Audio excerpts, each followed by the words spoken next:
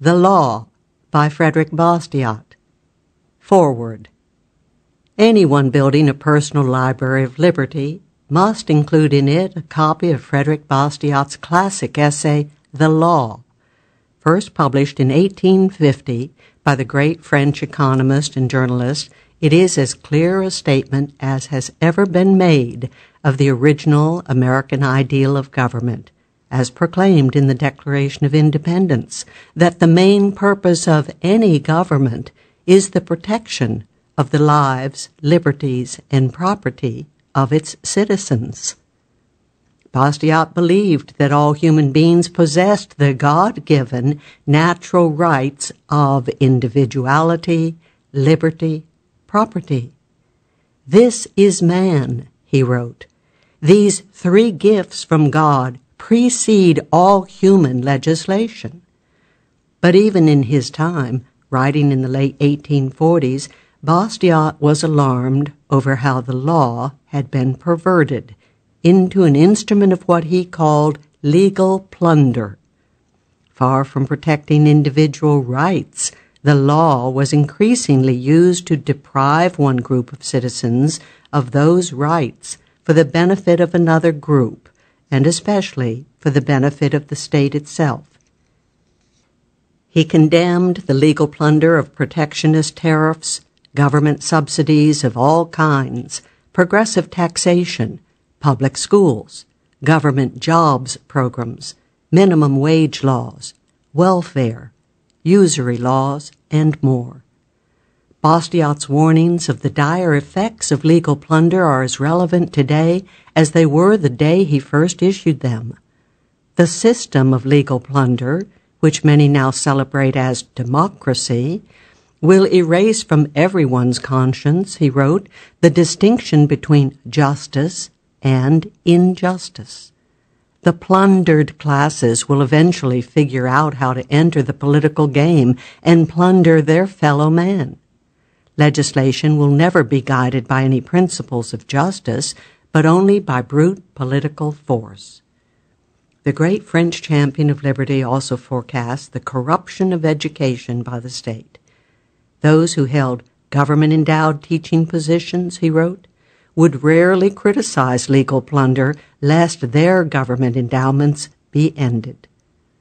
The system of legal plunder would also greatly exaggerate the importance of politics in society. That would be a most unhealthy development, as it would encourage even more citizens to seek to improve their own well being, not by producing goods and services for the marketplace, but by plundering their fellow citizens through politics. Bastiat was also wise enough to anticipate what modern economists call rent seeking and rent avoidance behavior.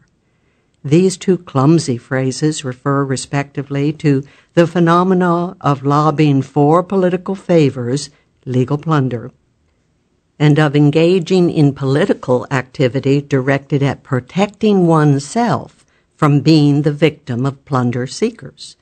For example, the steel manufacturing industry lobbies for high tariffs on steel whereas steel using industries, like the automobile industry, can be expected to lobby against high tariffs on steel. The reason why modern economists are concerned about rent seeking is the opportunity cost involved.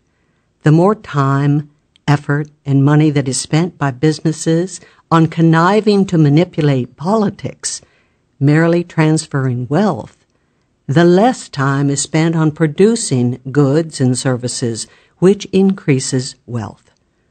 Thus, legal plunder impoverishes the entire society, despite the fact that a small but politically influential part of the society benefits from it. It is remarkable in reading the law how perfectly accurate Bastiat was in describing the statist of his day, which, it turns out, were not much different from the statist of today or any other day. The French socialist of Bastiat's day espoused doctrines that perverted charity, education, and morals, for one thing. True charity does not begin with the robbery of taxation, he pointed out. Government schooling is inevitably an exercise in statist brainwashing, not genuine education. And it is hardly moral for a large gang government to legally rob one segment of the population, keep most of the loot, and share a little of it with various needy individuals. Socialists want to play God, Bastiat observed, anticipating all the future tyrants and despots of the world who would try to remake the world in their image, whether that image would be communism, fascism, the glorious union, or global democracy. Bastiat also observed that socialists wanted forced conformity, rigid regimentation of the population through pervasive regulation, forced equality of wealth, and dictatorship. As such, they were the mortal enemies of liberty. Dictatorship need not involve an actual dictator. All that was needed, said Bastiat, was the laws enacted by a Congress or a Parliament that would achieve the same effect forced conformity. Bastiat was also wise to point out that the world has far too many great men, fathers of their countries, and so forth, who in reality are usually nothing but petty tyrants with a sick and compulsive desire to rule over others. The defenders of the free society should have a healthy disrespect for all such men. Bastiat admired America and pointed to the America of 1850 as being as close as any society in the world to his ideal of a government that protected individual rights to life, liberty, and property. There were two major exceptions, however the twin evils of slavery and protectionist tariffs.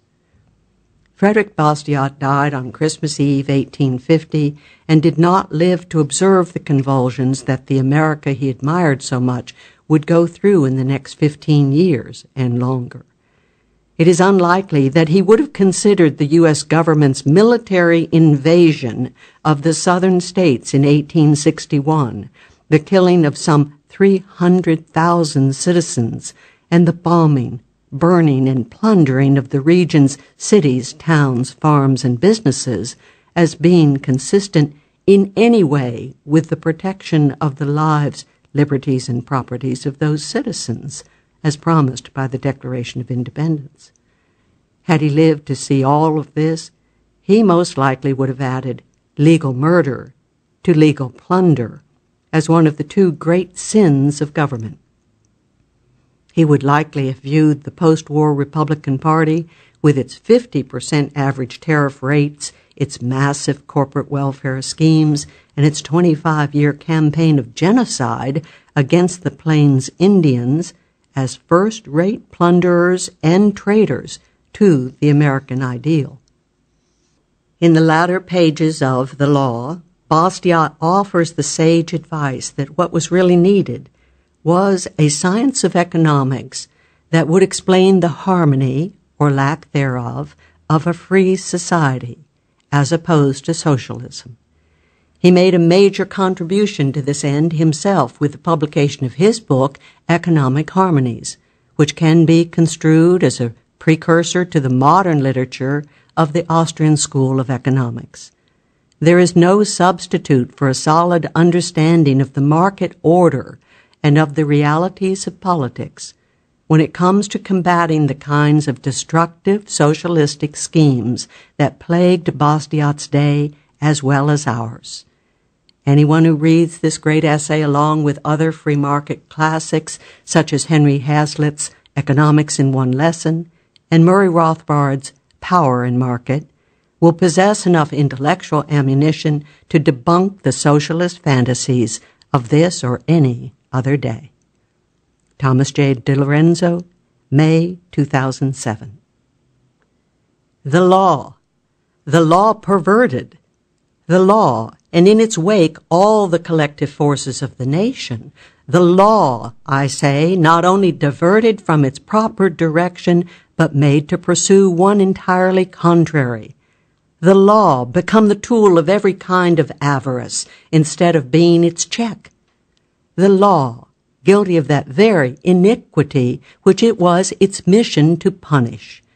Truly, this is a serious fact, if it exists, and one to which I feel bound to call the attention of my fellow citizens. We hold from God the gift that, as far as we are concerned, contains all others life, physical, intellectual, and moral life.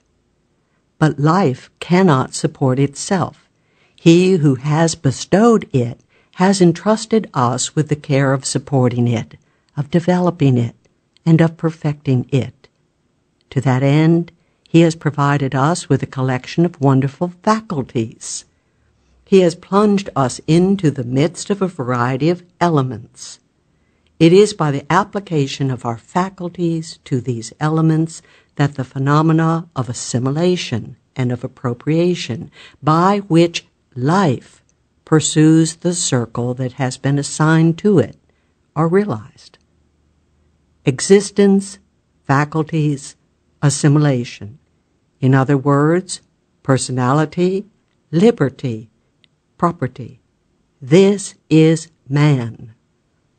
It is of these three things that it may be said, apart from all demagogic subtlety, that they are anterior and superior to all human legislation. It is not because men have made laws that personality, liberty, and property exist. On the contrary, it is because personality, liberty, and property exist beforehand that men make laws. What then is law? As I have said elsewhere, it is the collective organization of the individual right to lawful defense.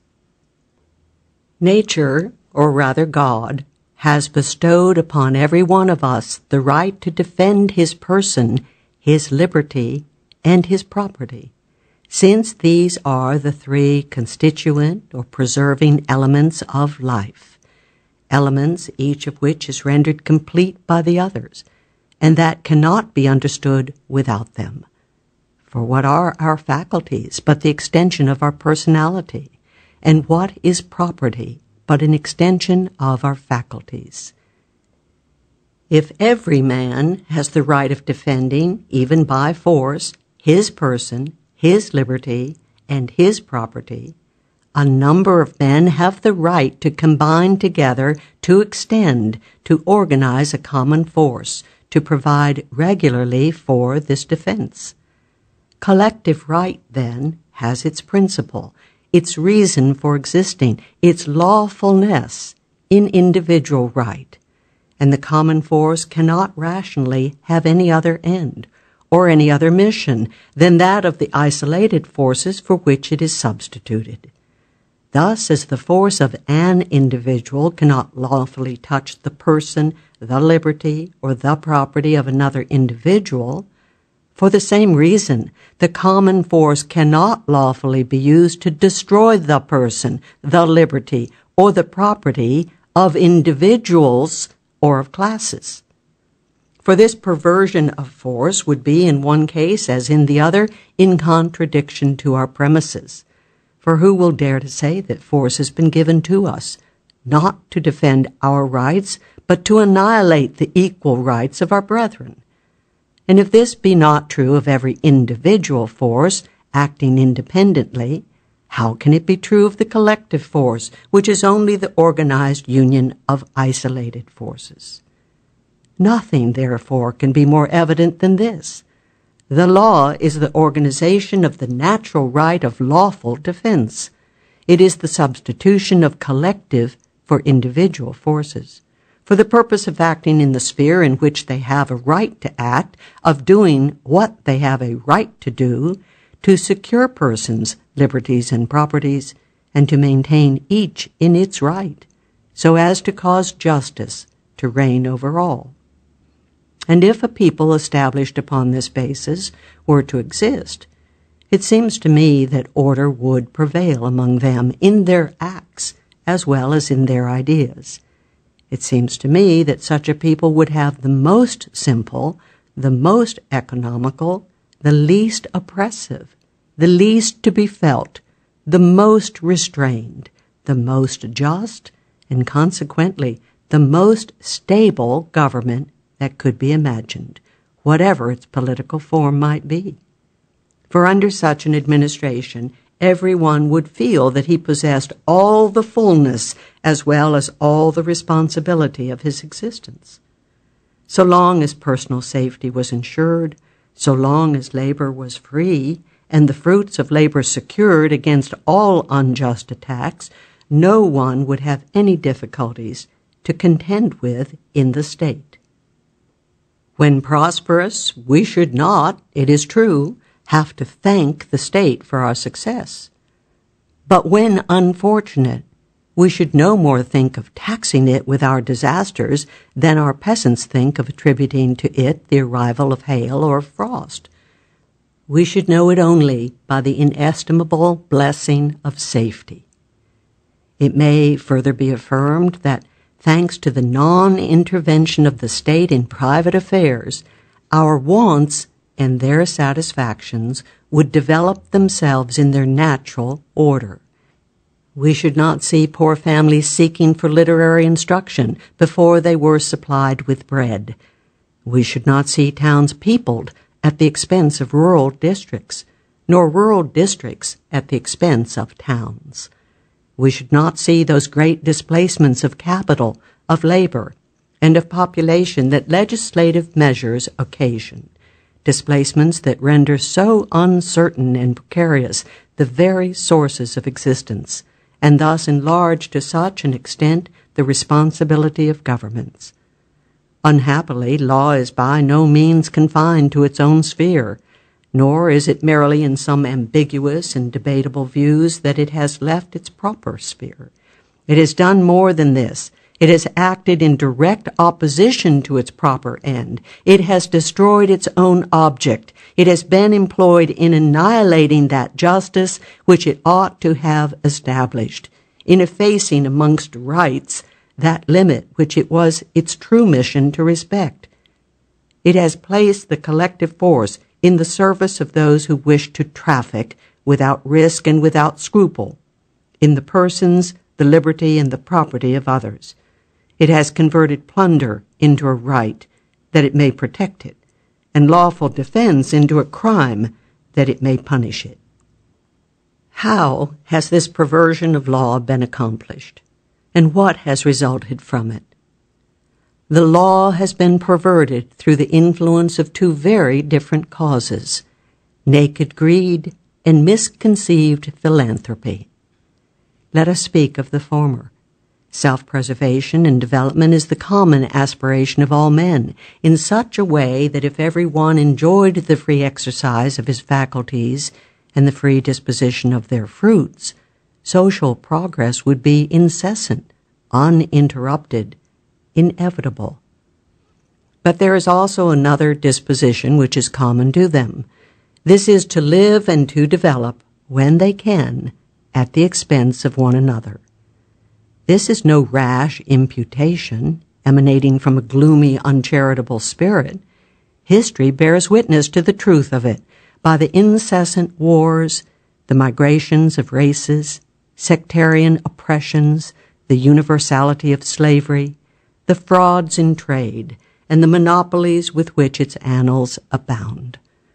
This fatal disposition has its origin in the very constitution of man, in that primitive and universal and invincible sentiment that urges it towards its well being and makes it seek to escape pain. Man can only derive life and enjoyment from a perpetual search and appropriation that is, from a perpetual application of his faculties to objects or from labor. This is the origin of property. But also he may live and enjoy by seizing and appropriating the productions of the faculties of his fellow men. This is the origin of plunder. Now, labor being in itself a pain, and man being naturally inclined to avoid pain, it follows, and history proves it, that wherever plunder is less burdensome than labor, it prevails. and neither religion nor morality can, in this case, prevent it from prevailing. When does plunder cease, then? When it becomes more burdensome and more dangerous than labor. It is very evident that the proper aim of law is to oppose the fatal tendency to plunder with the powerful obstacle of collective force, that all its measures should be in favor of property and against plunder. But the law is made generally by one man or by one class of men, and as law cannot exist without the sanction and the support of the preponderant force, it must finally place this force in the hands of those who legislate. This inevitable phenomenon, combined with the fatal tendency that, we have said, exists in the heart of man, explains the almost universal perversion of law. It is easy to conceive that instead of being a check upon injustice, it becomes its most invincible instrument. It is easy to conceive that according to the power of the legislator, it destroys for its own profit and in different degrees amongst the rest of the community, personal independence by slavery, liberty by oppression, and property by plunder. It is in the nature of men to rise against the injustice of which they are the victims. When, therefore, plunder is organized by law for the profit of those who perpetrate it, all the plundered classes tend, either by peaceful or revolutionary means, to enter in some way into the manufacturing of laws. These classes, according to the degree of enlightenment at which they have arrived, may propose to themselves two very different ends when they thus attempt the attainment of their political rights. Either they may wish to put an end to lawful plunder, or they may desire to take part in it. Woe to the nation where this latter thought prevails amongst the masses at the moment when they, in their turn, seize upon the legislative power. Up to that time, lawful plunder has been exercised by the few upon the many, as is the case in countries where the right of legislating is confined to a few hands.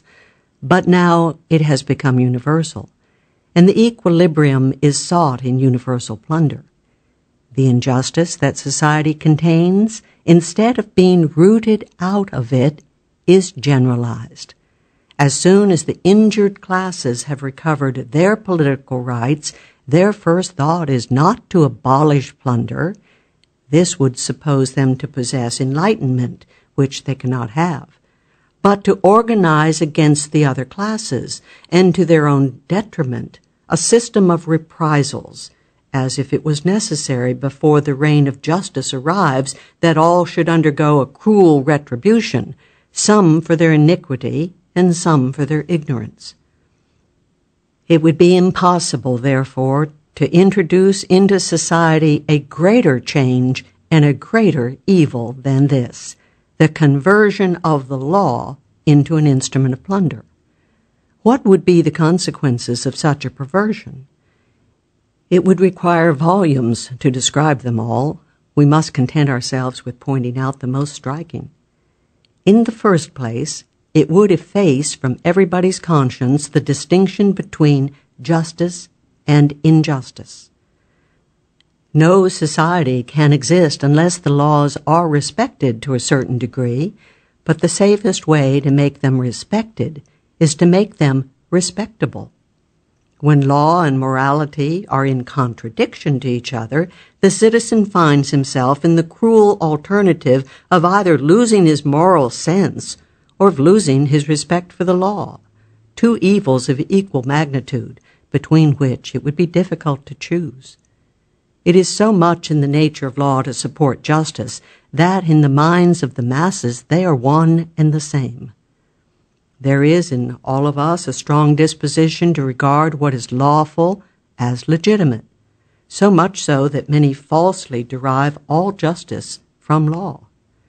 It is sufficient then for the law to order and sanction plunder, that it may appear to many consciences just and sacred. Slavery, protection, and monopoly find defenders, not only in those who profit by them, but in those who suffer by them. If you suggest a doubt as to the morality of these institutions, it is said directly, You are a dangerous experimenter, a utopian, a theorist, a despiser of the laws. You would shake the basis upon which society rests. If you lecture upon morality or political economy, official bodies will be found to make this request to the government that henceforth science be taught not only with sole reference to free exchange, to liberty, property, and justice, as has been the case up to the present time, but also and especially with reference to the facts and legislation, contrary to liberty, property, and justice, that regulate French industry that in public lecterns salaried by the Treasury, the professor abstain rigorously from endangering in the slightest degree the respect due to the laws now in force. So that if a law exists that sanctions slavery or monopoly, oppression or plunder in any form whatever, it must not even be mentioned. For how can it be mentioned without damaging the respect that it inspires. Still further, morality and political economy must be taught in connection with this law, that is, under the supposition that it must be just only because it is law. Another effect of this deplorable perversion of the law is that it gives to human passions and to political struggles, and in general to politics, properly so called, an exaggerated importance. I could prove this assertion in a thousand ways, but I shall confine myself, by way of an illustration, to bringing it to bear upon a subject which has of late occupied everybody's mind universal suffrage. Whatever may be thought of it by the adepts of the school of Rousseau, which professes to be very far advanced, but which I consider twenty centuries behind, universal suffrage, taking the word in its strictest sense, is not one of those sacred dogmas with respect to which examination and doubt are crimes. Serious objections may be made to it. In the first place, the word universal conceals a gross sophism. There are in France 36 million inhabitants. To make the right of suffrage universal, 36 million electors should be reckoned. The most extended system reckons only 9 million. Three persons out of four, then, are excluded. And more than this, they are excluded by the fourth. Upon what principle is this exclusion founded? Upon the principle of incapacity. Universal suffrage then means universal suffrage of those who are capable. In point of fact, who are the capable? Are age, sex, and judicial condemnations the only conditions to which incapacity is to be attached? On taking a nearer view of the subject, we may soon perceive the reason why the right of suffrage depends upon the presumption of incapacity the most extended system differing from the most restricted in the conditions on which this incapacity depends and which constitutes not a difference in principle but in degree. This motive is that the elector does not stipulate for himself but for everybody.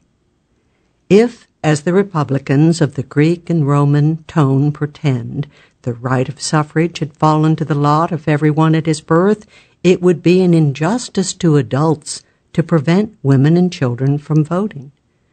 Why are they prevented? Because they are presumed to be incapable. And why is incapacity a reason for exclusion? Because the elector does not reap alone the responsibility of his vote because every vote engages and affects the community at large, because the community has a right to demand some assurances as regards the acts upon which its well being and its existence depend. I know what might be said in answer to this. I know what might be objected, but this is not the place to settle a controversy of this kind. What I wish to observe is this that this same controversy, in common with the greater part of political questions that agitates, excites, and unsettles the nations, would lose almost all its importance if the law had always been what it ought to be. In fact, if law were confined to causing all persons, all liberties, and all properties to be respected, if it were merely the organization of individual right and individual defense, if it were the obstacle, the check, the chastisement opposed to all oppression, to all plunder, is it likely that we should dispute much as citizens on the subject of the greater or lesser universality of suffrage? Is it likely that it would compromise that greatest of advantages, the public peace? Is it likely that the excluded classes would not quietly wait for their turn? Is it likely that the enfranchised classes would be very jealous of their privileged? And is it not clear that the interest of all being one and the same, some would act without much inconvenience to the others?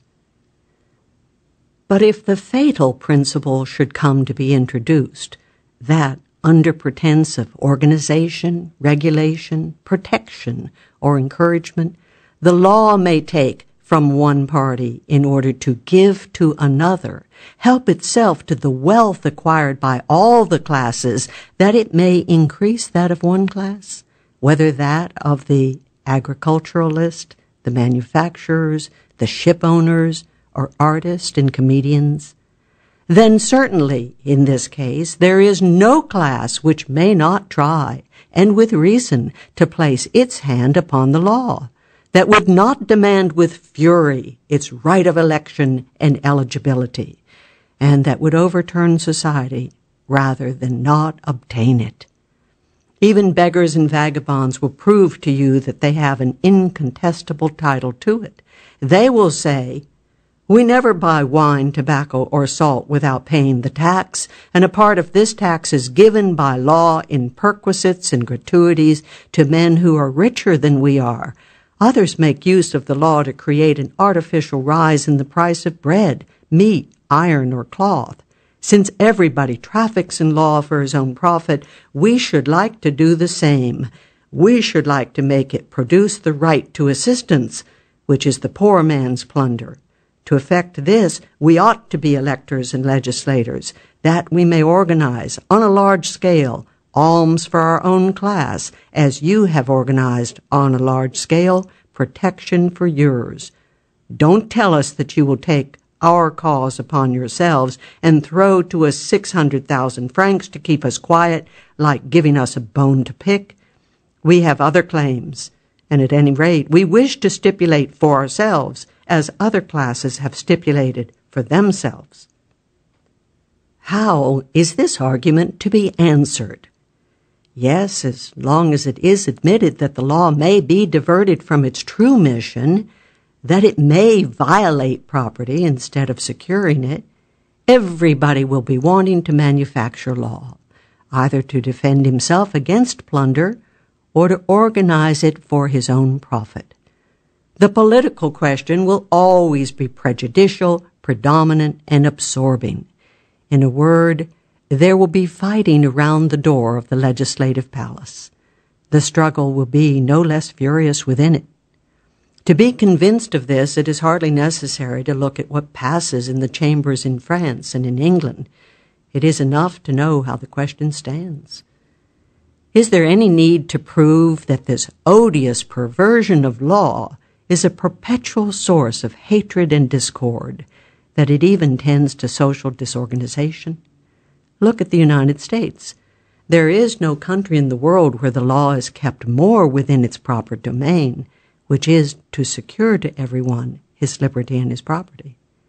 Therefore, there is no country in the world where social order appears to rest upon a more solid basis.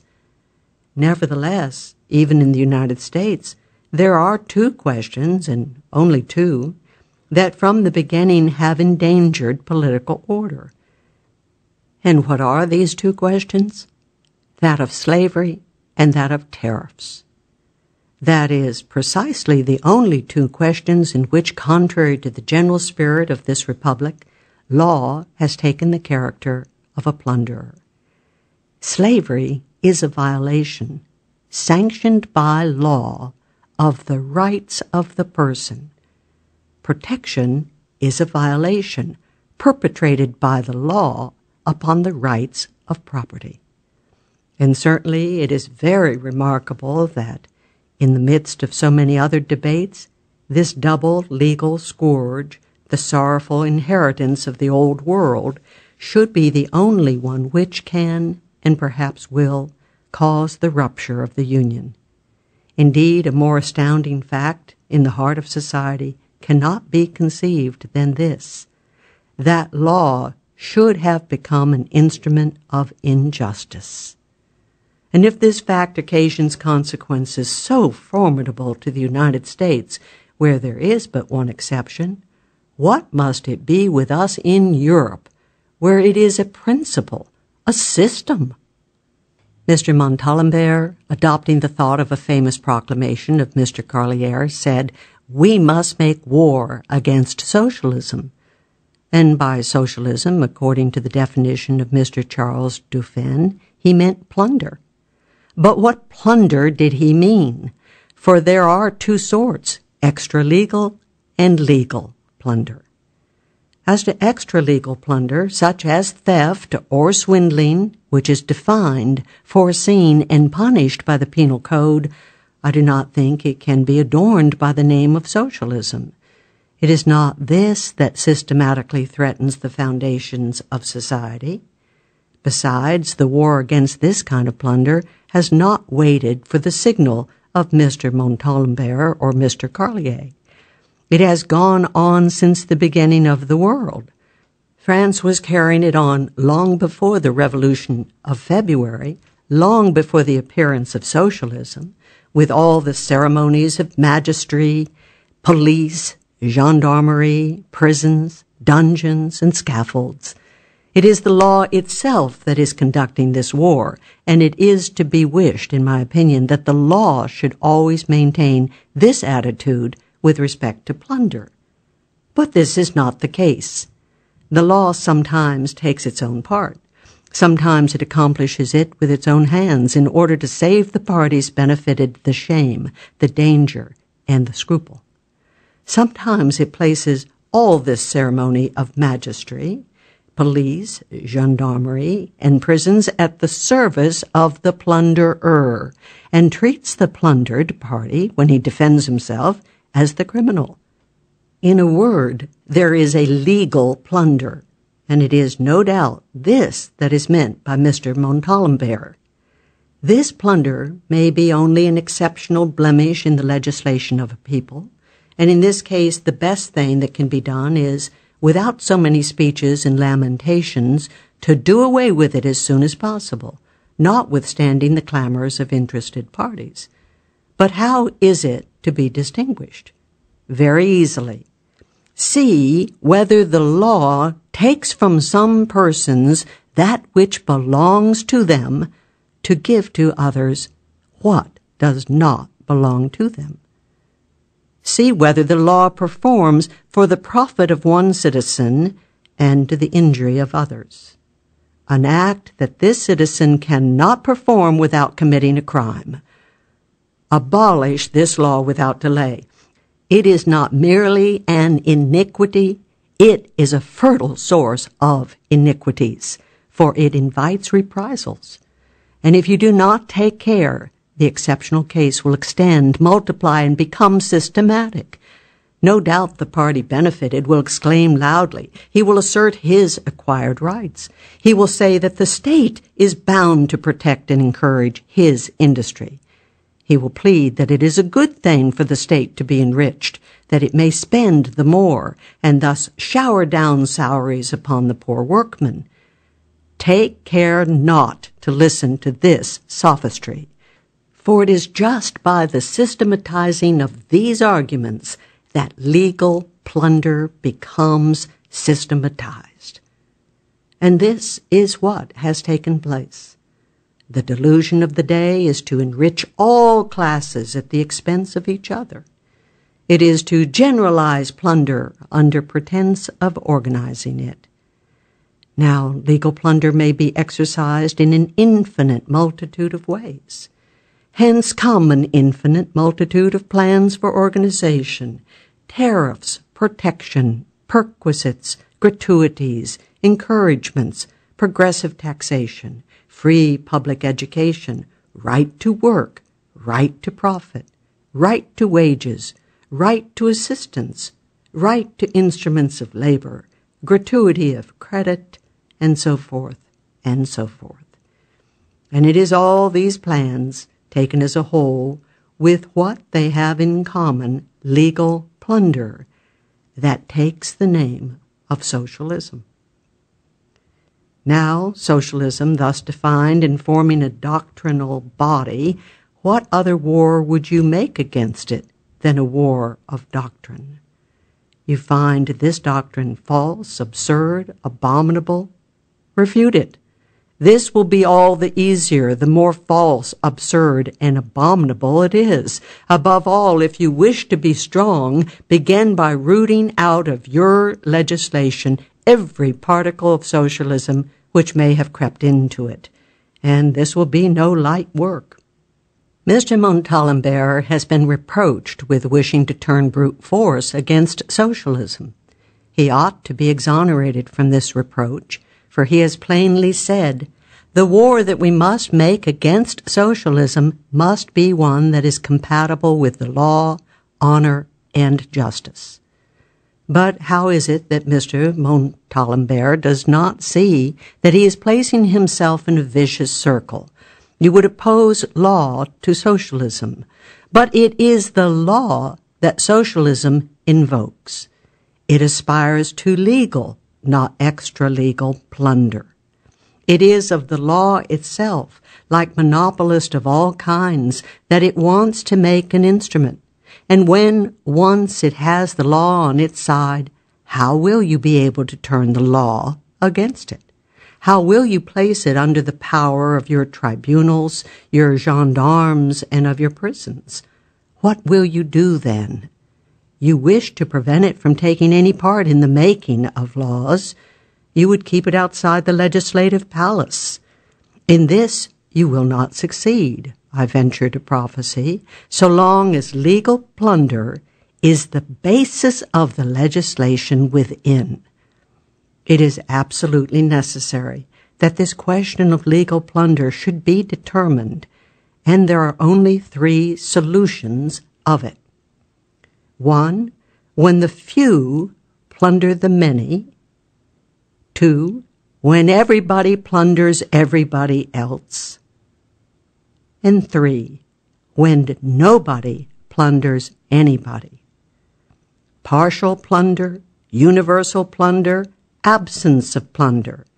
Amongst these, we have to make our choice.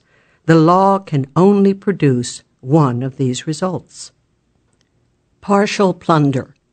This is the system that prevailed so long as the elective privilege was partial, a system that is resorted to to avoid the invasion of socialism. Universal plunder. We've been threatened by this system when the elective privilege has become universal, the masses having conceived the idea of making law on the principle of legislators who had preceded them absence of plunder. This is the principle of justice, peace, order, stability, conciliation, and of good sense, which I shall proclaim with all the force of my lungs, which is very inadequate, alas, till the day of my death. And in all sincerity, can anything more be required at the hands of the law? Can the law, whose necessary sanction is force, be reasonably employed upon anything beyond securing to everyone his right? I defy anyone to remove it from this circle without perverting it, and consequently turning force against right. And as this is the most fatal, the most illogical social perversion that can possibly be imagined, it must be admitted that the true solution, so much sought after, of the social problem is contained in these simple words Law is organized justice.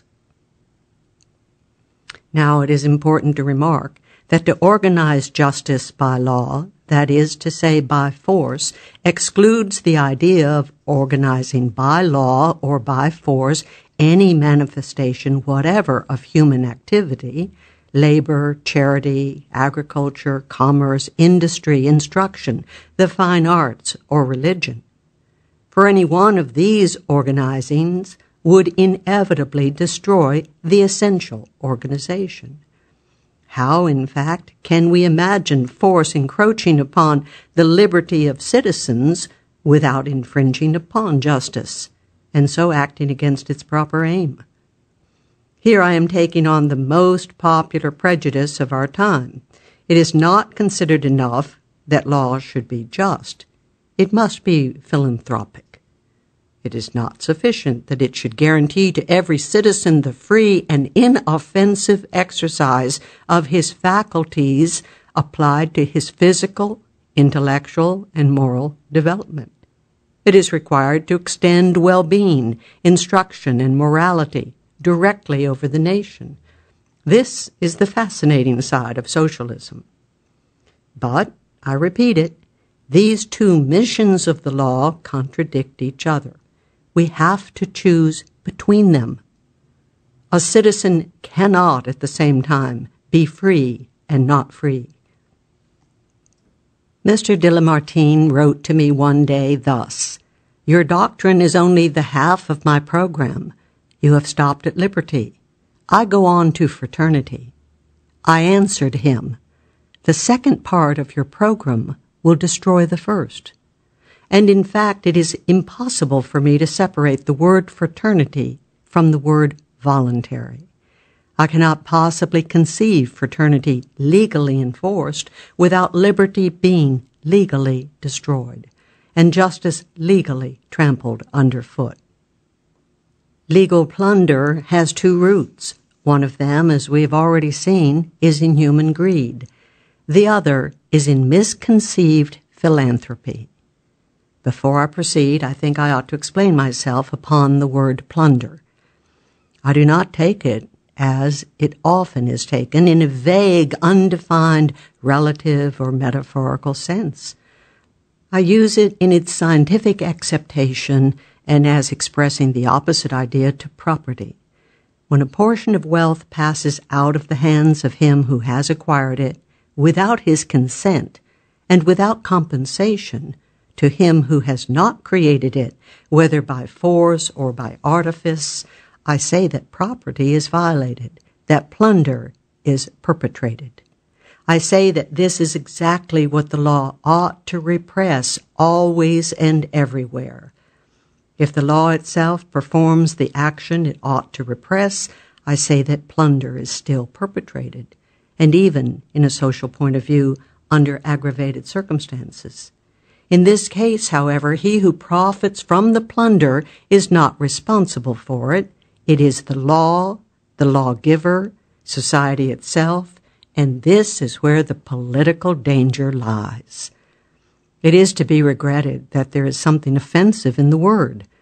I have sought in vain for another, for I would not wish at any time, and especially just now, to add an irritating word to our disagreements. Therefore, whether I am believed or not, I declare that I do not mean to impugn the intentions nor the morality of anybody. I am attacking an idea that I believe to be false, a system that appears to me to be unjust. And this is so independent of intentions that each of us profits by it without wishing it, and suffers from it without being aware of the cause. Any person must write under the influence of party spirit or of fear, who would call into question the sincerity of protectionism, of socialism, and even of communism, which are one and the same plant in three different periods of its growth. All that can be said is that plunder is more visible by its partiality in protectionism. If protection were only granted in France to a single class, to the engineers, for instance, it would be so absurdly plundering as to be unable to maintain itself. Thus, we see all the protected trades combine, make common cause, and even recruit themselves in such a way as to appear to embrace the mass of the national labor. They feel instinctively that plunder is slurred over by being generalized. Plunder is more visible by its universality in communism. Whence it follows that, of the three systems, socialism is still the most vague, the most undefined, and consequently the most sincere. Be that as it may, to conclude that legal plunder has one of its roots in misconceived philanthropy is evidently to put intentions out of the question. With this understanding, let us examine the value, the origin, and the tendency of this popular aspiration, which pretends to realize the general good by general plunder. The socialists say, since the law organizes justice, why should it not organize labor, instruction, and religion? Why? Because it could not organize labor, instruction, and religion without disorganizing justice. For remember that law is force and that consequently the domain of the law cannot properly extend beyond the domain of force. When law and force keep a man within the bounds of justice, they impose nothing upon him but a mere negation.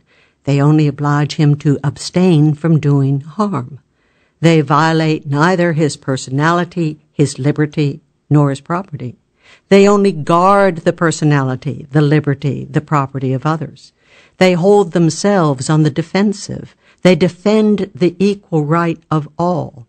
They fulfill a mission whose harmlessness is evident, whose utility is palpable, and whose legitimacy is not to be disputed. This is so true that, as a friend of mine once remarked to me, to say that the aim of the law is to cause justice to reign is to use an expression that is not rigorously exact. It ought to be said the aim of the law is to prevent injustice from reigning. In fact, it is not justice that has an existence of its own. It is injustice. The one results from the absence of the other. But when the law, through the medium of its necessary agent force, imposes a form of labor, a method or a subject of instruction, a creed or worship, it is no longer negative. It acts positively upon men. It substitutes the will of the legislator for their own will, the initiative of the legislator for their own initiative. They have no need to consult, to compare, to foresee. The law does all that for them. The intellect is for them a useless encumbrance. They cease to be men. They lose their personality, their liberty, their property. Try to imagine a form of labor imposed by force that is not a violation of liberty, a transmission of wealth imposed by force that is not a violation of property. If you cannot succeed in reconciling this, you are bound to conclude that the law cannot organize labor and industry without organizing injustice. When, from the seclusion of his office, a politician takes a view of society, he is struck with the spectacle of inequality that presents itself. He mourns over the sufferings that are the lot of so many of our brethren, sufferings whose aspect is rendered yet more sorrowful by the contrast of luxury and wealth. He ought perhaps to ask himself whether such a social state has not been caused by the plunder of ancient times, exercised in the way of conquest, and by plunder of more recent times, effected through the medium of the laws. He ought to ask himself whether, granting the aspiration of all men to well being and improvement, the reign of justice would not suffice to realize the greatest activity of progress and the greatest amount of equality, compatible with that individual responsibility that God has awarded as a just retribution of virtue and vice? He never gives this a thought. His mind turns towards combinations, arrangements, legal or factitious organizations. He seeks the remedy in perpetuating and exaggerating what has produced the evil. For justice apart, which we have seen is only a negation, is there any one of these legal arrangements that does not contain the principle of plunder? You say, there are men who have no money, and you apply to the law. But the law is not a self-supplied fountain, whence every stream may obtain supplies independently of society. Nothing can enter the public treasury in favor of one citizen or one class but what other citizens and other classes have been forced to send to it. If everyone draws from it only the equivalent of what he has contributed to it, your law, it is true, is no plunderer, but it does nothing for men who want money. It does not promote equality. It can only be an instrument of equalization as far as it takes from one party to give to another, and then it is an instrument of plunder. Examine in this light the protection of tariffs, subsidies, right to profit, right to labor, right to assistance, free public education, progressive taxation, gratuitousness of credit, social workshops, and you will always find at the bottom legal plunder, organized injustice. You say, there are men who want knowledge, and you apply to the law. But the law is not a torch that sheds light that originates within itself. It extends over a society where there are men who have knowledge and others who have not citizens who want to learn, and others who are disposed to teach. It can only do one of two things either allow a free operation to this kind of transaction, that is, let this kind of want satisfy itself freely, or else preempt the will of the people in the matter and take from some of them sufficient to pay professors commissioned to instruct others for free. But in this second case, there cannot fail to be a violation of liberty and property, legal plunder. You say, here are men who are wanting in morality or religion, and you apply to the law. But law is force, and need I say how far it is a violent and absurd enterprise to introduce force in these matters? As the result of its systems and of its efforts, it would seem that socialism notwithstanding all its self complacency, can scarcely help perceiving the monster of legal plunder. But what does it do?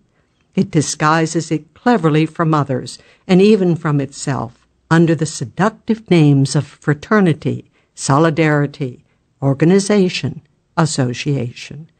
And because we do not ask so much at the hands of the law, because we only ask it for justice, it alleges that we reject fraternity, solidarity, organization, and association, and they brand us with the name of individualist. We can assure them that what we repudiate is not natural organization, but forced organization. It is not free association, but the forms of association that they would impose upon us. It is not spontaneous fraternity, but legal fraternity. It is not providential solidarity, but artificial solidarity, which is only an unjust displacement of responsibility. Socialism, like the old policy from which it emanates, confounds government and society. And so, every time we object to a thing being done by government, it concludes that we object to its being done at all. We disapprove of education by the state, well, then we are against education altogether. We object to a state religion. Then we would have no religion at all. We object to an equality which is brought about by the state when we are against equality, and so forth, and so forth. They might as well accuse us of wishing men not to eat because we object to the cultivation of corn by the state. How is it that the strange idea of making the law produce what it does not contain, prosperity in a positive sense, wealth, science, religion, should ever have gained ground in the political world? The modern politicians, particularly those of the socialist school, found their different theories upon one common hypothesis, and surely a more strange and more presumptuous notion could never have entered a human brain. They divide mankind into two parts. Men in general, except one, form the first. The politician himself forms the second, which is by far the most important. In fact, they begin by supposing that men are devoid of any principle of action and of any means of discernment in themselves, that they have no initiative, that they are inert matter, passive particles, atoms without impulse, at best a vegetation indifferent to his own mode of existence, susceptible of assuming from an exterior will and hand an infinite number of forms more or less symmetrical, artistic, and perfected. Moreover, every one of these politicians does not hesitate to assume that he himself is, under the names of organizer, discoverer, legislator, institutor, or founder, this will and hand, this universal initiative, this creative power, whose sublime mission it is to gather together these scattered materials, that is, men, into society. Starting from these data, as a gardener, according to his caprice, shapes his trees into pyramids, parasols, cubes, cones, vases, espaliers, distaffs, or fans, so the socialist, following his chimera, shapes poor humanity into groups, series, circles, subcircles, honeycombs, or social workshops, with all kinds of variations. And as the gardener, to bring his trees into shape, needs hatchets, pruning hooks, saws, and shears, so the politician, to bring society into shape, needs the forces which he can only find in the laws the law of tariffs, the law of taxation, the law of assistance, and the law of education. It is so true that the socialists look upon mankind as a subject for social experiments that if, by chance, they are not quite certain of the success of these experiments, they will request a portion of mankind as a subject to experiment upon. It is well known how popular the idea of trying all systems is, and one of their chiefs has been known seriously to demand of the Constituent Assembly a parish with all its inhabitants upon which to make his experiments. It is thus that an inventor will make a small machine before he makes one of the regular size. Thus the chemist sacrifices some substances, the agriculturalist some seed and a corner of his field, to make trial of an idea. But think of the difference between the gardener and his trees, between the inventor and his machine, between the chemist and his substances, between the agriculturalist and his seed. The socialist thinks, in all sincerity, that there is the same difference between himself and mankind. No wonder the politicians of the 19th century look upon society as an artificial production of the legislator's genius. This idea, the result of a classical education, has taken possession of all the thinkers and great writers of our country. To all these persons, the relations between mankind and the legislator appear to be the same as those that exist between the clay and the potter. Moreover, if they have consented to recognize in the heart of man a capability of action and in his intellect a faculty of discernment, they have looked upon this gift of God as a fatal one and thought that mankind, under these two impulses, tended fatally towards ruin. They have taken it for granted that if abandoned to their own inclinations, men would only occupy themselves with religion to arrive at atheism, with instruction to come to ignorance, and with labor and exchange to be extinguished in misery. Happily, according to these writers, there are some men termed governors and legislators upon whom heaven has bestowed opposite tendencies, not for their own sake only, but for the sake of the rest of the world. Whilst mankind tends to evil, they incline to good. Whilst mankind is advancing toward darkness, they are aspiring to enlightenment. Whilst mankind is drawn towards vice, they are attracted by virtue. And, this granted, they demand the assistance of force, by means of which they are to substitute their own tendencies for those of the human race. It is only needful to open, almost at random, a book on philosophy, politics, or history to see how strongly this idea, the child of classical studies and the mother of socialism, is rooted in our country. That mankind is merely inert matter, receiving life, organization, morality, and wealth from power, or rather, and still worse, that mankind itself tends towards degradation and is only arrested in its tendency by the mysterious hand of the legislator. Classical conventionalism shows us everywhere, behind passive society, a hidden power under the names of law or legislator, or by a mode of expression which refers to some person or persons of undisputed weight and authority but not named, which moves, animates, enriches, and regenerates mankind. We will give a quotation from Bossuet. One of the things which was the most strongly impressed, by whom, upon the mind of the Egyptians was the love of their country. Nobody was allowed to be useless to the state. The law assigned to every one his employment, which descended from father to son. No one was permitted to have two professions, nor to adopt another. But there was one occupation which was obliged to be common to all. This was the study of the laws and of wisdom. Ignorance of religion and the political regulations of the country was excused in no condition of life. Moreover, every profession had a district assigned to it. By whom? Amongst good laws, one of the best things was that everybody was taught to observe them. By whom? Egypt abounded with wonderful inventions, and nothing was neglected which could render life comfortable and tranquil. Thus men, according to Bossuet, derive nothing from themselves. Patriotism, wealth, inventions, husbandry, science, all come to them by the operation of the laws or by kings. All they have to do is to be passive. It is on this ground that Bossuet takes exception when Diodorus accuses the Egyptians of rejecting wrestling and music.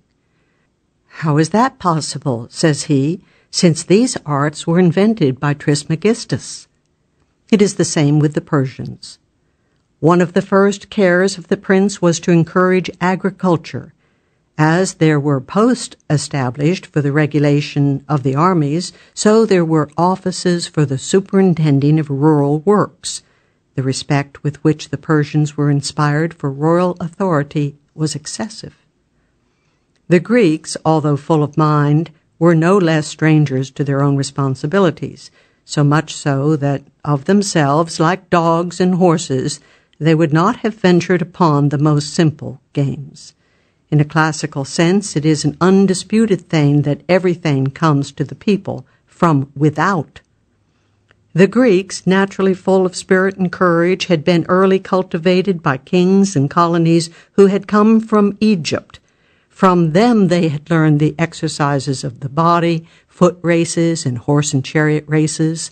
The best thing that the Egyptians had taught them was to become docile and to allow themselves to be formed by the laws for the public good. Fenelon, reared in the study and admiration of antiquity and a witness of the power of Louis XIV, Fenelon naturally adopted the idea that mankind should be passive, and that its misfortunes and its prosperities, its virtues and its vices are caused by the external influence that is exercised upon it by the law or by the makers of the law. Thus, in his Utopia of Salentum, he brings the men with their interest, their faculties, their desires, and their possessions under the absolute direction of the legislator. Whatever the subject may be, they themselves have no voice in it. The prince judges for them. The nation is just a shapeless mass of which the prince is the soul. In him resides the thought, the foresight, the principle of all organization, of all progress. On him, therefore, rest all the responsibility. In proof of this assertion, I might transcribe the whole of the tenth book of Telemachus. I refer the reader to it, and shall content myself with quoting some passages taken at random from this celebrated work, to which, in every other respect, I am the first to render justice. With the astonishing credulity that characterizes the classics, Fenelon, against the authority of reason and of facts, admits the general felicity of the Egyptians and attributes it not to their own wisdom, but to that of their kings. We could not turn our eyes to the two shores without perceiving rich towns and country seats agreeably situated, fields that were covered every year, without intermission, with golden crops, meadows full of flocks, laborers bending under the weight of fruits that the earth lavished on its cultivators, and shepherds who made the echoes around repeat the soft sounds of their pipes and flutes. Happy, said Mentor, is that people who is governed by a wise king. Mentor afterwards desired me to remark the happiness and abundance that was spread over all the country of Egypt, where twenty-two thousand cities might be counted. He admired the excellent police regulations of the cities, the justice administered in favor of the poor against the rich, the good education of the children, who were accustomed to obedience, labor, and the love of arts and letters, the exactness with which all the ceremonies of religion were performed, the disinterestedness, the desire of honor, the fidelity to men, and the fear of the gods with which every father inspired his children. He could not sufficiently admire the prosperous state of the country. Happy, said he, is the people whom a wise king rules in such a manner. Fenelon's idyll on Crete is still more fascinating. Mentor is made to say, all that you will see in this wonderful island is the result of the laws of Minos. The education that the children receive renders the body healthy and robust. They are accustomed from the first to a frugal and laborious life. It is supposed that all the pleasures of sense enervate the body and the mind.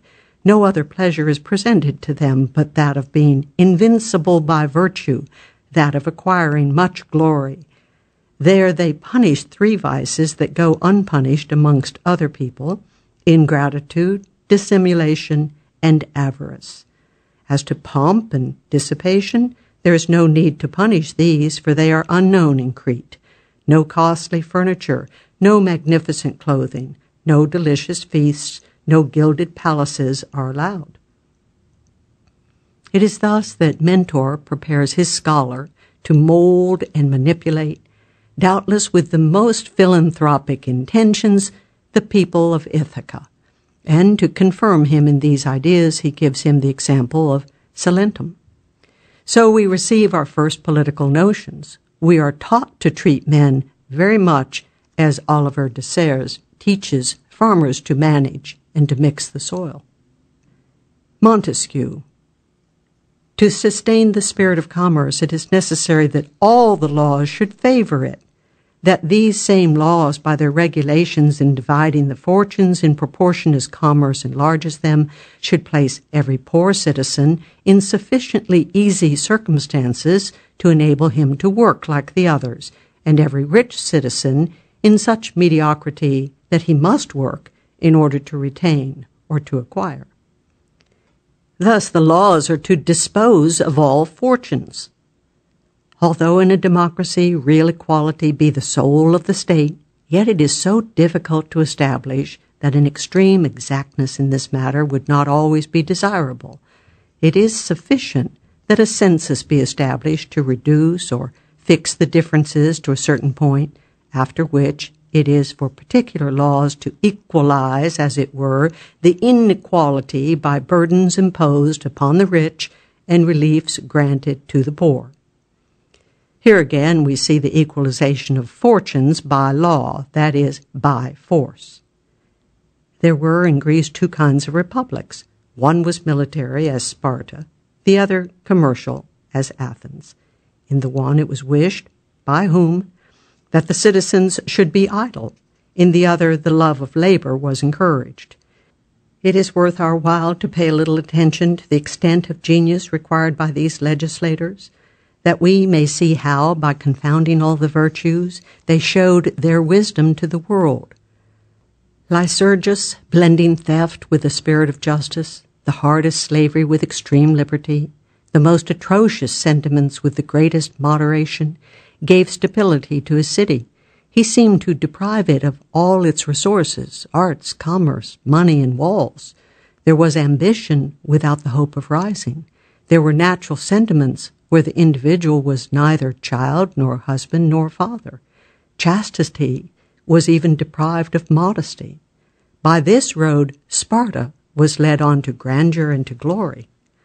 The phenomenon that we observe in the institutions of Greece has been seen in the midst of the degeneracy and corruption of our modern times. An honest legislator has formed people where probity has appeared as natural as bravery among the Spartans.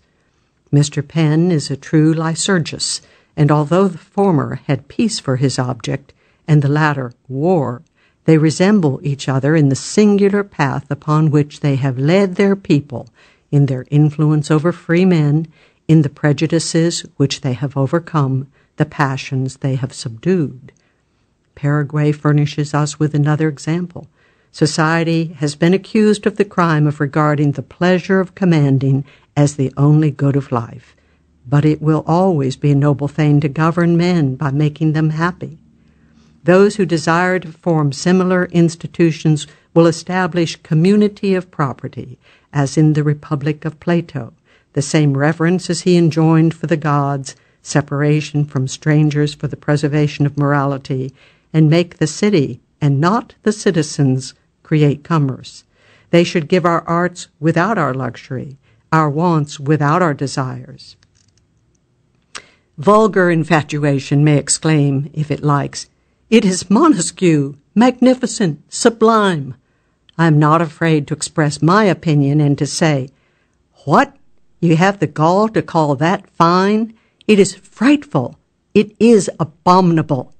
And these extracts, which I might multiply, show that according to Montesquieu, the persons, the liberties, the property, mankind itself are nothing but grist for the mill of the sagacity of lawgivers. Rousseau. Although this politician, the paramount authority of the Democrats, makes the social edifice rest upon the general will, no one has so completely admitted the hypothesis of the entire passiveness of human nature in the presence of the lawgiver. If it is true that a great prince is a rare thing, how much more so must a great lawgiver be? The former has only to follow the pattern proposed to him by the latter. This latter is the engineer who invents the machine, the former is merely the workman who sets it in motion. And what part have men to act in all this? That of the machine, which is set in motion? Or rather, are they not the brute matter of which the machine is made? Thus, between the legislator and the prince, between the prince and his subjects, there are the same relations as those that exist between the agricultural writer and the agriculturalist, the agriculturalist and the clod. At what a vast height then, is the politician placed who rules over legislators themselves and teaches them their trade in such imperative terms as the following Would you give consistency to the state? Bring the extremes together as much as possible. Suffer neither wealthy persons nor beggars. If the soil is poor and barren, or the country too much confined for the inhabitants, turn to industry and the arts whose productions you will exchange for the provisions which you require. On a good soil, if you are short of inhabitants, give all your attention to agriculture, which multiplies men, and banish the arts, which only serve to depopulate the country. Pay attention to extensive and convenient coasts. Cover the sea with vessels, and you will have a brilliant and short existence. If your seas wash only inaccessible rocks, let the people be barbarous and eat fish. They will live more quietly, perhaps better, and most certainly more happily. In short, besides those maxims which are common to all, every people has its own particular circumstances which demand a legislation peculiar to itself. It was thus that the Hebrews formerly, and the Arabs more recently, had religion for their principal object. That of the Athenians was literature, that of Carthage and Tyre, commerce, of Rhodes, naval affairs, of Sparta, war, and of Rome, virtue. The author of the Spirit of Laws has shown the art by which the legislator should frame his institutions towards each of these objects. But if the legislator, mistaking his object, should take up a principle different from that which arises from the nature of things, if one should tend to slavery and the other to liberty, if one to wealth and the other to population, one to peace and the other to conquests, the laws will insensibly become enfeebled, the Constitution will be impaired, and the state will be subject to incessant agitations until it is destroyed or becomes changed, and invincible nature regains her empire. But if nature is sufficiently invincible to regain its empire, why does not Rousseau admit that it had no need of the legislator to gain its empire from the beginning? Why does he not allow that by obeying their own impulse, men would of themselves apply agriculture to a fertile district and commerce to extensive and commodious coast without the interference of a Lycurgus, a Solon, or a Rousseau, who would undertake it at the risk of deceiving themselves? Be that as it may, we see with what a terrible responsibility Rousseau invests inventors, institutors, conductors, and manipulators of societies. He is, therefore, very exacting with regard to them. He who dares to undertake the institutions of a people ought to feel that he can, as it were, transform every individual who is by himself a perfect and solitary whole, receiving his life and being from a larger whole of which he forms a part, he must feel that he can change the constitution of man, to fortify it, and substitute a social and moral existence for the physical and independent one that we have all received from nature. In a word, he must deprive man of his own powers to give him others that are foreign to him. Poor human nature! What would become of its dignity if it were entrusted to the disciples of Rousseau? Raynal. The climate, that is, the air and the soil, is the first element for the legislator. His resources prescribe to him his duties. First, he must consult his local position. A population dwelling upon maritime shores must have laws fitted for navigation. If the colony is located in an inland region, a legislator must provide for the nature of the soil and for its degree of fertility. It is more especially in the distribution of property that the wisdom of legislation will appear. As a general rule, and in every country, when a new colony is founded, land should be given to each man sufficient for the support of his family. In an uncultivated island, which you are colonizing with children, it will only be needful to let the germs of truth expand in the developments of reason.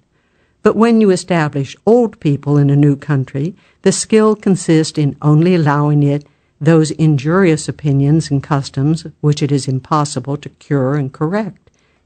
If you wish to prevent them from being perpetuated, you will act upon the rising generation by a general and public education of the children. A prince or legislator ought never to found a colony without previously sending wise men there to instruct the youth. In a new colony, every facility is open to the precautions of the legislator who desires to purify the tone and the manners of the people. If he has genius and virtue, the lands and the men there are at his disposal, will inspire his soul with a plan of society that a writer can only vaguely trace, and in a way that would be subject to the instability of all hypotheses, which are varied and complicated by an infinity of circumstances too difficult to foresee and to combine.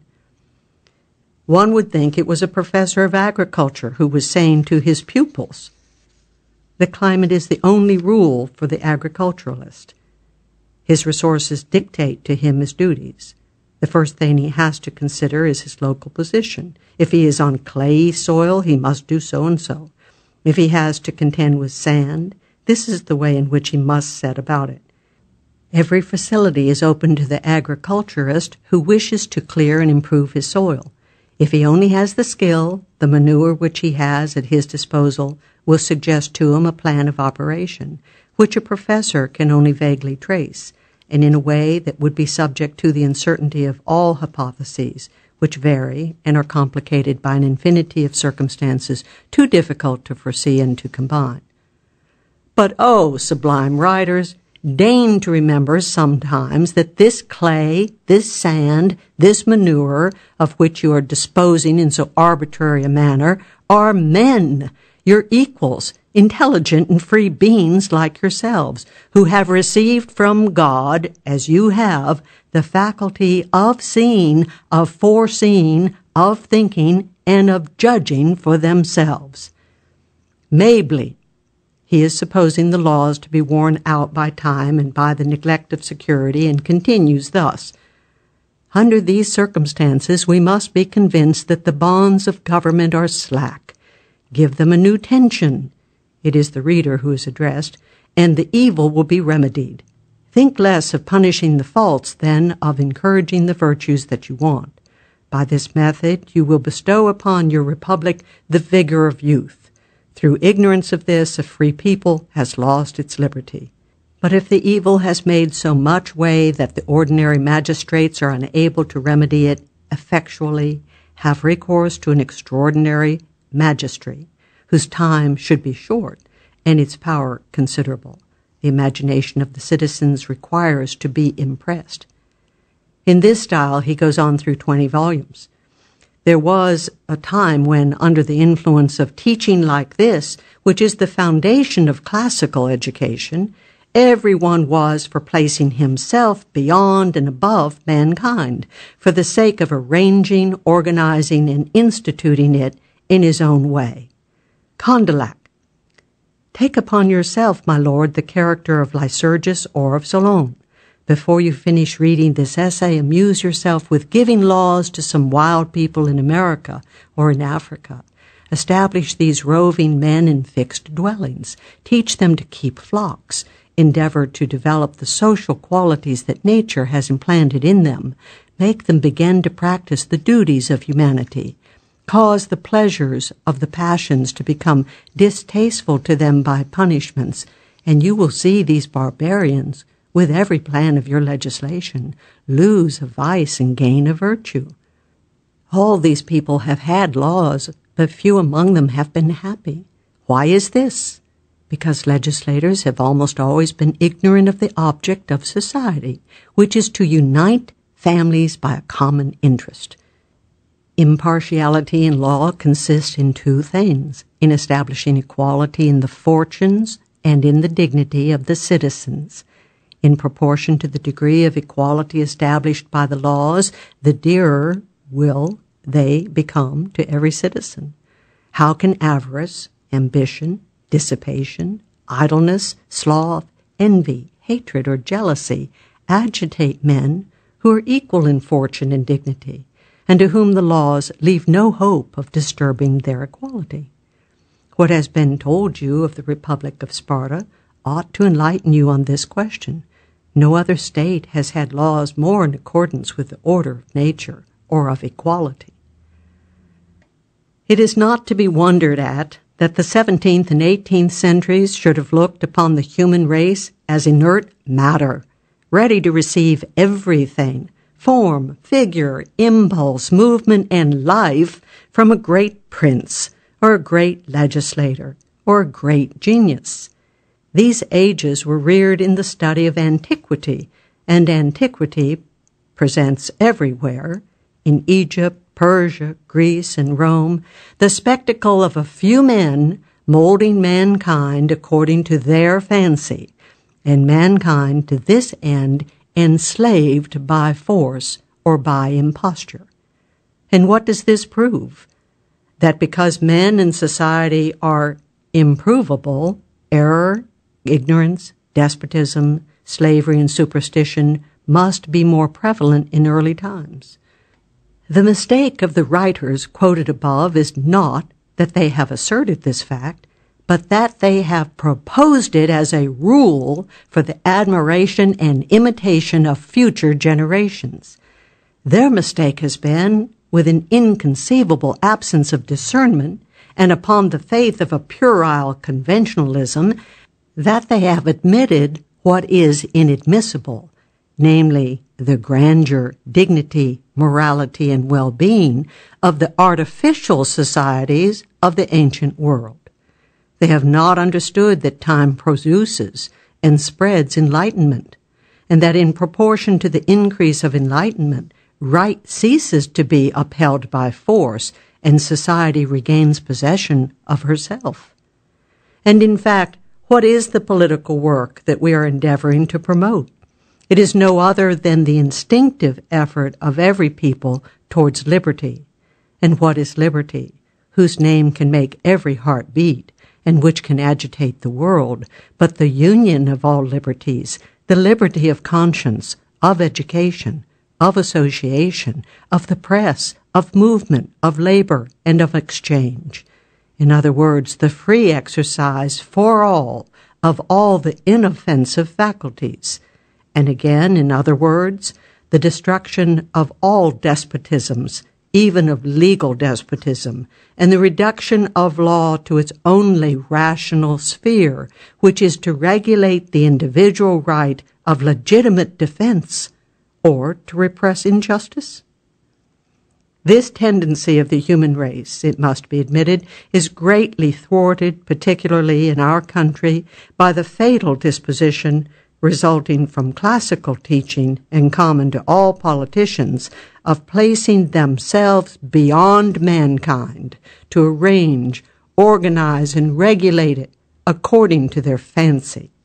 For whilst society is struggling to realize liberty, the great men who place themselves at its head, imbued with the principles of the 17th and 18th centuries, think only of subjecting it to the philanthropic despotism of their social inventions and making it bear with docility, according to the expression of Rousseau, the yoke of public felicity as pictured in their own imaginations.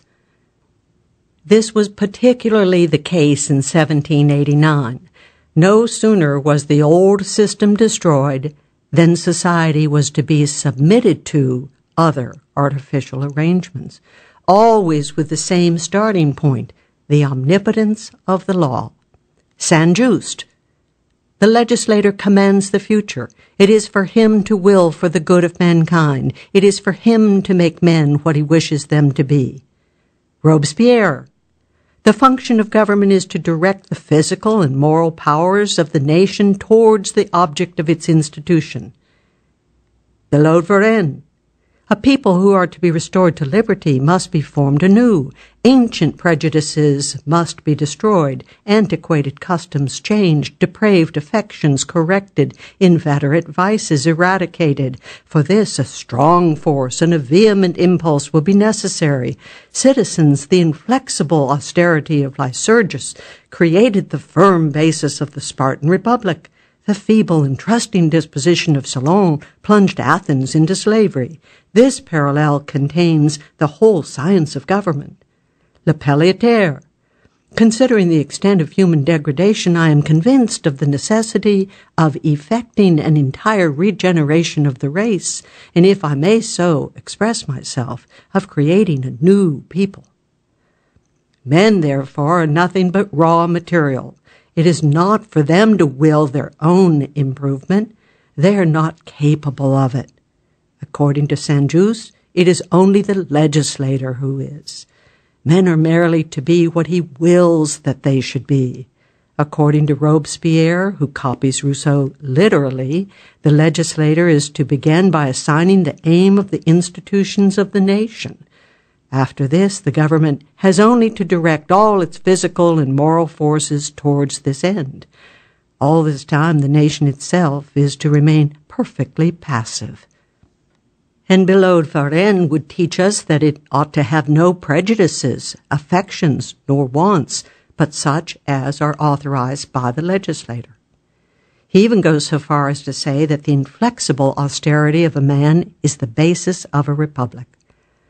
We have seen that in cases where the evil is so great that the ordinary magistrates are unable to remedy it, Mably recommends a dictatorship to promote virtue have recourse, says he, to an extraordinary magistracy whose time shall be short and his power considerable. The imagination of the people requires to be impressed. This doctrine has not been neglected. Listen to Robespierre.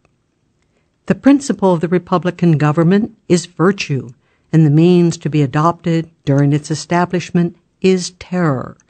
We want to substitute in our country morality for self indulgence probity for honor, principles for customs, duties for decorum, the empire of reason for the tyranny of fashion, contempt of vice for contempt of misfortune, pride for insolence, greatness of soul for vanity, love of glory for love of money, good people for good company, merit for intrigue, genius for wit, truth for glitter, the charm of happiness for the weariness of pleasure, the greatness of man for the littleness of the great, a magnanimous, powerful, happy people for one that is easy, frivolous, degraded. That is to say, we would substitute all the virtues and miracles of a republic for all the vices and absurdities of monarchy. At what a vast height above the rest of mankind does Robespierre place himself here? And observe the arrogance with which he speaks. He is not content with expressing a desire for a great renovation of the human heart. He does not even expect such a result from a regular government. No, he intends to effect it himself, and by means of terror. The object of the discourse from which this puerile and laborious mass of antithesis is extracted was to exhibit the principles of morality that ought to direct a revolutionary government. Moreover, when Robespierre asks for a dictatorship, it is not merely for the purpose of repelling a foreign enemy or of putting down factions. It is that he may establish, by means of terror, and as a preliminary to the operation of the Constitution, his own principles of morality. He pretends to nothing short of extirpating from the country, by means of terror, self interest, honor, customs, decorum, fashion, vanity, the love of money, good company, intrigue, wit, luxury, and misery. It is not until after he, Robespierre, shall have accomplished these miracles, as he rightly calls them, that he will allow the law to regain her empire. Truly, it would be well if these visionaries, who think so much of themselves and so little of mankind, who want to renew everything, would only be content with trying to reform themselves. The task would be arduous enough for them. In general, however, these gentlemen, the reformers, legislators, and politicians, do not desire to exercise an immediate despotism over mankind. No, they are too moderate and too philanthropic for that. They only contend for the despotism, the absolutism, the omnipotence of the law. They aspire only to make the law. To show how universal this strange disposition has been in France, I had need not only to have copied the whole of the works of Mably, Raynal, Rousseau, Fenelon, and to have made long extracts from Bossuet and Montesquieu, but to have given the entire transactions of the sittings of the convention.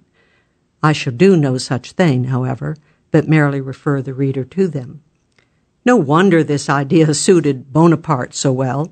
He embraced it with ardor and put it in practice with energy. Playing the part of a chemist, Europe was to him the material for his experiments. But this material reacted against him. More than half undeceived, Bonaparte, at St. Helena, seemed to admit that there is an initiative in every people, and he became less hostile to liberty. Yet this did not prevent him from giving this lesson to his son in his will. To govern is to diffuse morality, education, and well being. After all this, I hardly need show by fastidious quotations the opinions of Morelli, Babeuf, Owen, St. Simon, and Fourier. I shall confine myself to a few extracts from Louis Blanc's book on the organization of labor. In our project, society receives the impulse of power. In what does the impulse that power gives to society consist? In imposing upon it the project of Mr. Louis Blanc. On the other hand, society is the human race. The human race, then, is to receive its impulse from Mr. Louis Blanc. It is at liberty to do so or not, it will be said. Of course, the human race is at liberty to take advice from anybody, whoever it may be. But this is not the way in which Mr. Louis Blanc understands the thing. He means that his project should be converted into law, and consequently forcibly imposed by power. In our project, the state has only to give a legislation to labor, by means of which the industrial movement may and ought to be accomplished in all liberty. It, the state, merely places society on an incline, that is all, that it may descend when once it is placed there by the mere force of things and by the natural concourse of the established mechanism. But what is this incline? One indicated by Mr. Louis Blanc. Does it not lead to an abyss? No, it leads to happiness. Why then does not society go there of itself? Because it does not know what it wants and it requires an impulse.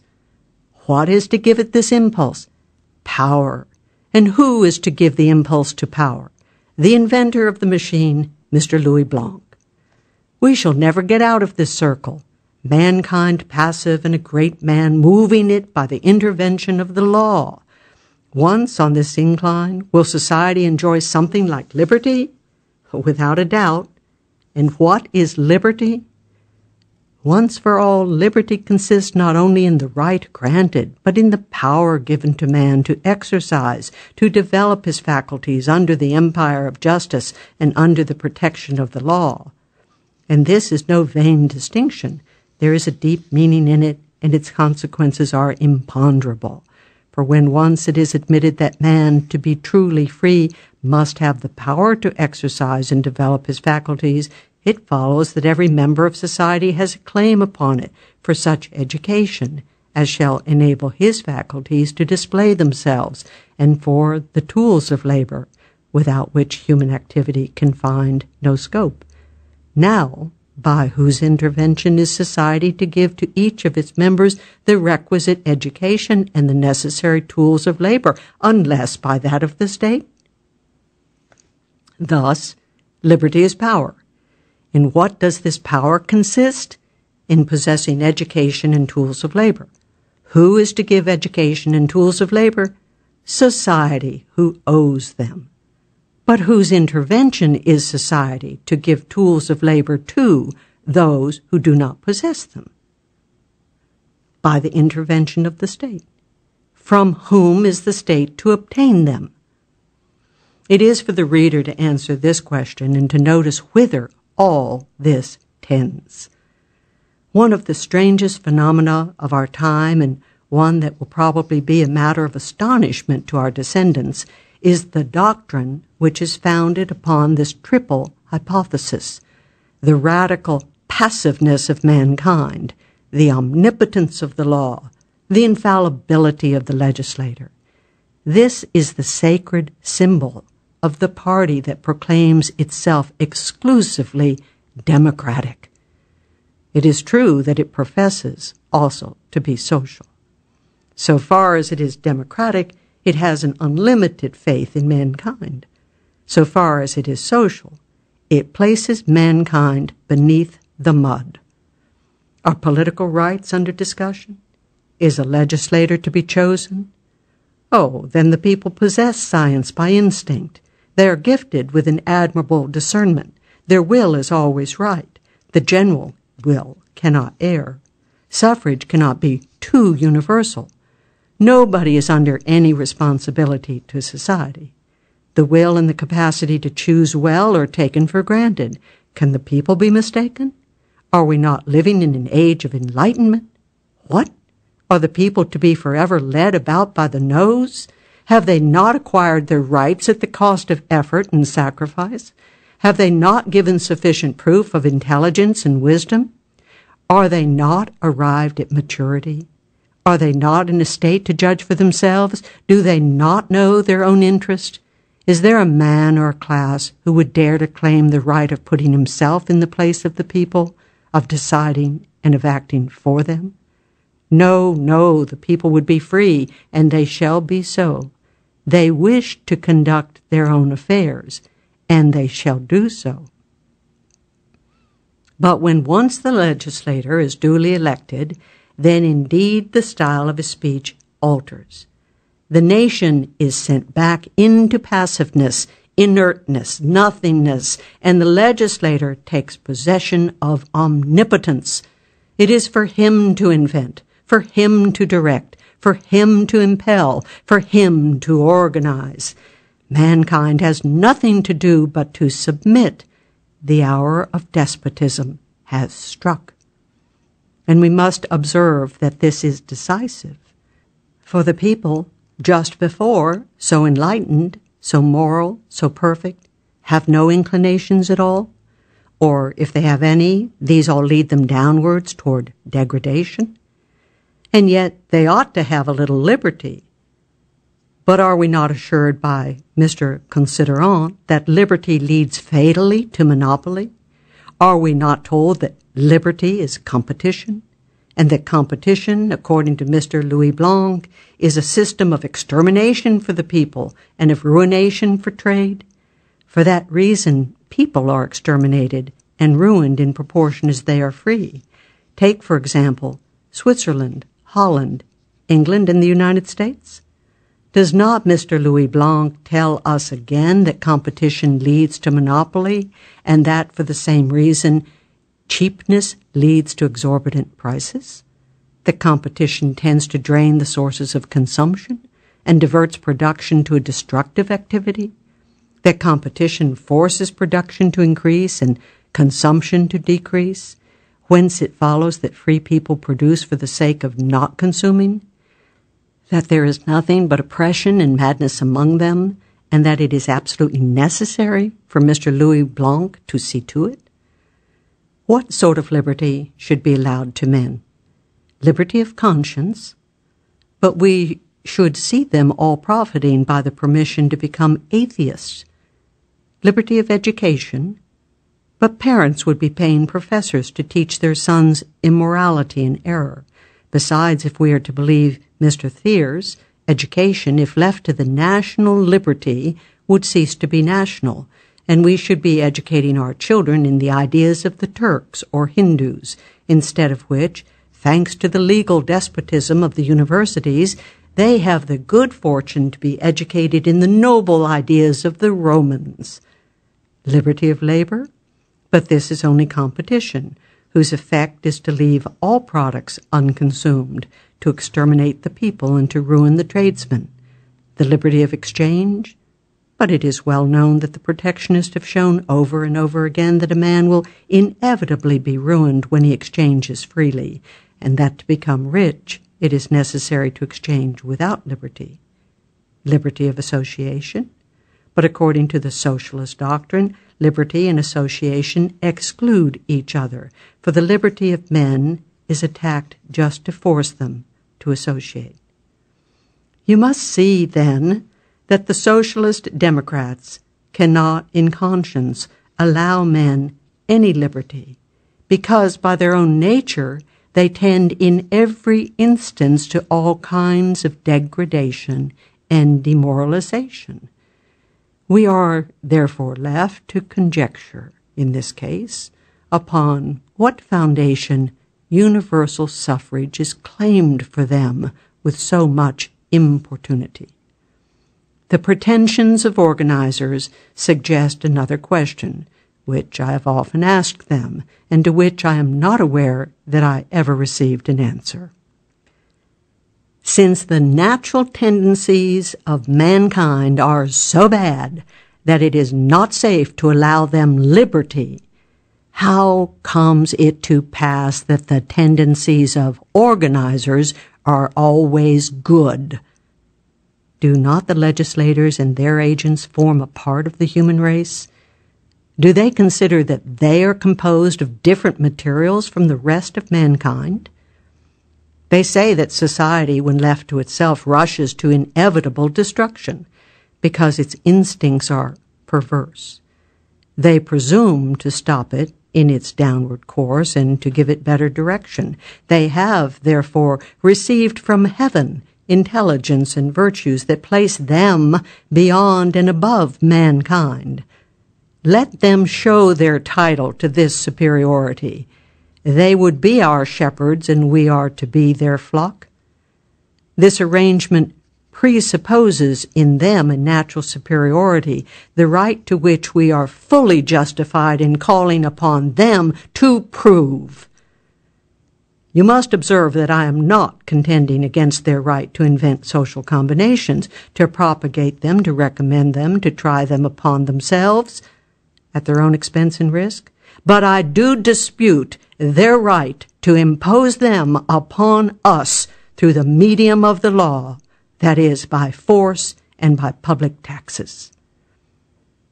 I would not insist upon the Cabetists, the Fourierists, the Proudhonians, the academics, and the protectionists renouncing their own particular ideas. I would only have them renounce the idea that is common to them all, namely that of subjecting us by force to their own categories and rankings, to their social laboratories, to their ever inflating bank, to their Greco Roman morality, and to their commercial restrictions.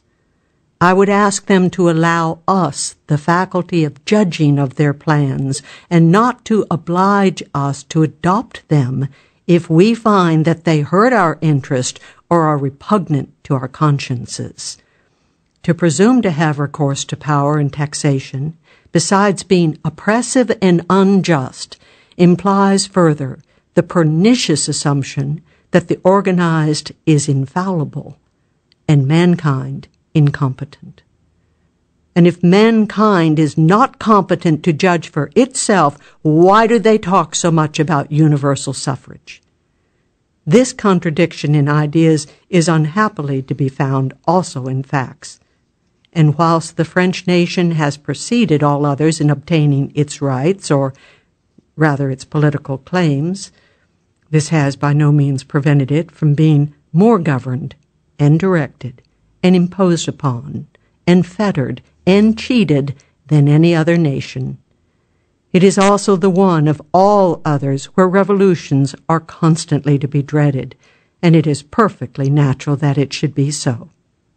So long as this idea is retained, which is admitted by all our politicians, and so energetically expressed by Mr. Louis Blanc in these words, society receives its impulse from power so long as men consider themselves as capable of feeling yet passive, incapable of raising themselves by their own discernment and by their own energy to any morality or well being, and while they expect everything from the law, in a word, while they admit that their relations with the state are the same as those of the flock with the shepherd, it is clear that the responsibility of power is immense. Fortune and misfortune, wealth and destitution, equality and inequality all proceed from it. It is charged with everything. It undertakes everything. It does everything. Therefore, it has to answer for everything.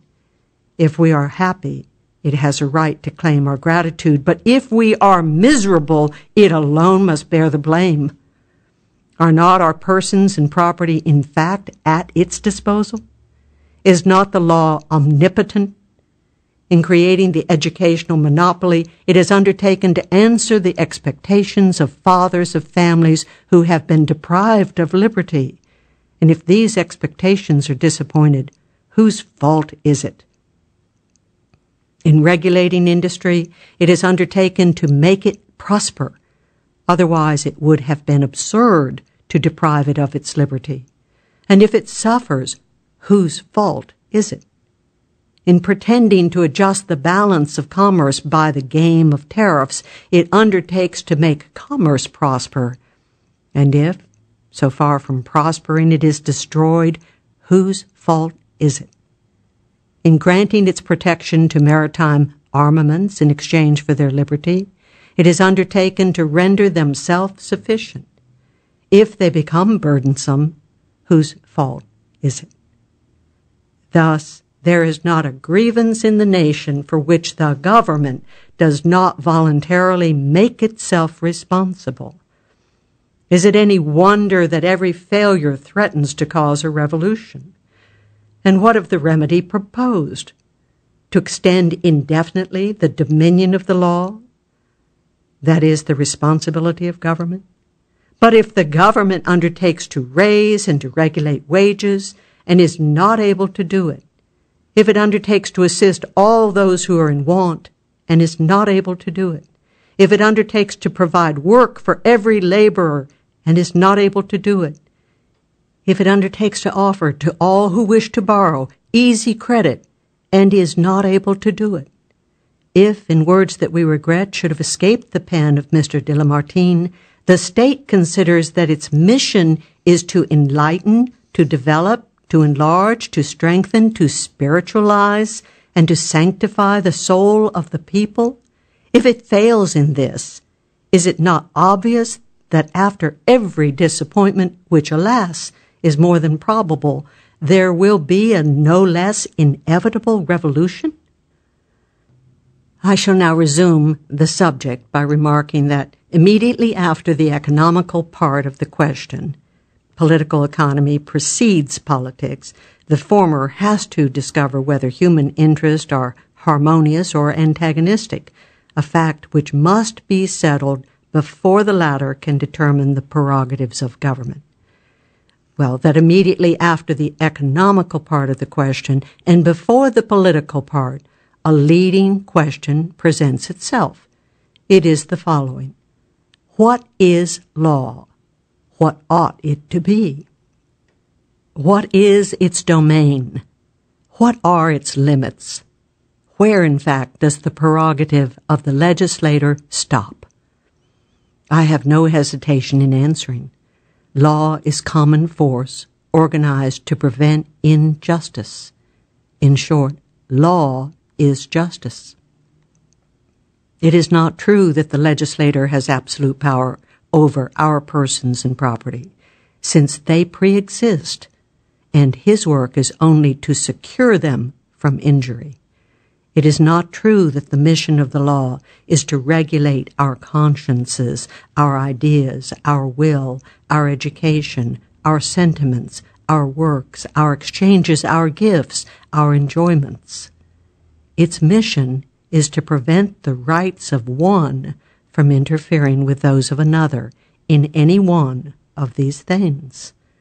Law, because it has force for its necessary sanction, can only have the domain of force, which is justice. And as every individual has a right to have recourse to force only in cases of lawful defense, so collective force, which is only the union of individual forces, cannot be rationally used for any other end. The law, then, is solely the organization of individual rights that existed before law. Law is justice. So far from being able to oppress the people or to plunder their property, even for a philanthropic end, its mission is to protect the people and to secure to them the possession of their property. It must not be said either that it may be philanthropic, so long as it abstains from all oppression, for this is a contradiction. The law cannot avoid acting upon our persons and property. If it does not secure them, then it violates them if it touches them. The law is justice. Nothing can be more clear and simple, more perfectly defined and bounded, or more visible to every eye for justice is a given quantity, immutable and unchangeable, and which admits of neither increase nor diminution. Depart from this point, make the law religious, fraternal, equalizing, industrial, literary, or artistic, and you will be lost in vagueness and uncertainty. You will be upon unknown ground, in a forced utopia or what is worse, in the midst of a multitude of contending utopias, each striving to gain possession of the law and impose it upon you. For fraternity and philanthropy have no fixed limits, as justice has. Where will you stop? Where is the law to stop? One person, Mr. de Saint Cricq, will only extend his philanthropy to some of the industrial classes and will require the law to slight the consumers in favor of the producers. Another, like Mr. Considerant, will take up the cause of the working classes and claim for them by means of the law, at a fixed rate, clothing, lodging, food, and everything necessary for the support of life. A third, Mr. Louis Blanc, will say, and with reason, that this would be an incomplete fraternity and that the law, ought to provide them with tools of labor and education. A fourth will observe that such an arrangement still leaves room for inequality and that the law ought to introduce into the most remote hamlets luxury, literature, and the arts. This is the high road to communism. In other words, legislation will be, as it is now, the battlefield for everybody's dreams and everybody's covetousness. Law is justice. In this proposition, we represent to ourselves a simple, immovable government. And I defy anyone to tell me whence the thought of a revolution, an insurrection, or a simple disturbance could arise against a public force confined to the repression of injustice.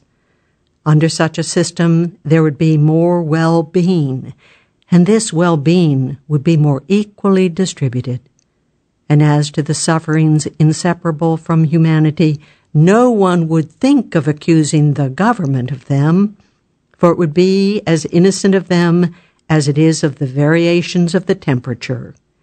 Have the people ever been known to rise against the Court of Appeals or assail the justices of the peace for the sake of claiming the rate of wages, free credit, tools of labor, the advantages of the tariff or the social workshop. They know perfectly well that these matters are beyond the jurisdiction of the justices of the peace, and they would soon learn that they are not within the jurisdiction of the law quite as much. But if the law were to be made upon the principle of fraternity, if it were to be proclaimed that from it proceed all benefits and all evils, that it is responsible for every individual grievance and for every social inequality, then you open the door to an endless succession of complaints, irritations, troubles, and revolutions. Law is justice. and it would be very strange if it could properly be anything else. Is not justice right? Are not rights equal? With what show of right can the law interfere to subject me to the social plans of Messieurs Mimerel, de Melun, Thiers, or Louis Blanc, rather than to subject these gentlemen to my plans? Is it to be supposed that nature has not bestowed upon me sufficient imagination to invent a utopia too? Is it for the law to make choice of one amongst so many fancies, and to make use of the public force in its service? Law is justice. And let it not be said, as it continually is, that the law in this sense would be atheistic, individual, and heartless, and that it would mold mankind in its own image. This is an absurd conclusion quite worthy of the governmental infatuation which sees mankind in the law. What then? Does it follow that if we are free, we shall cease to act? Does it follow that if we do not receive an impulse from the law, we shall receive no impulse at all? Does it follow that if the law confines itself to securing to us the free exercise of our faculties, our faculties will be paralyzed? Does it follow that if the law does not impose upon us forms of religion, modes of association, methods of education, rules for labor, directions for exchange, and plans for charity, we shall plunge headlong into atheism, isolation, ignorance, misery, and greed? Does it follow that we shall no longer recognize the power and goodness of God, that we shall cease to associate together to help each other, to love and assist our unfortunate brethren, to study the secrets of nature, and to aspire after perfection in our existence? Law is justice. And it is under the law of justice, under the reign of right, under the influence of liberty, security, stability, and responsibility, that every man will attain to the fullness of his worth, to all the dignity of his being, and that mankind will accomplish with order and with calmness, slowly, it is true, but with certainty, the progress ordained for it. I believe that my theory is correct, for whatever be the question upon which I am arguing, whether it be religious, philosophical, political, or economical, whether it affects well being, morality, equality, right, justice, progress, responsibility, property, labor, exchange, capital, wages, taxes, population, credit, or government. At whatever point of the scientific horizon I start from, I invariably come to the same thing. The solution of the social problem is in liberty. And have I not experience on my side? Cast your eye over the globe.